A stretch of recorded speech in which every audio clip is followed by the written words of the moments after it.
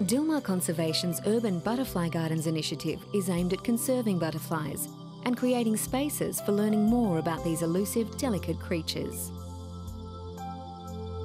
The Butterfly Garden at the Moratuwa MJF Centre is presently home to 51 species of butterfly out of 245 recorded in Sri Lanka.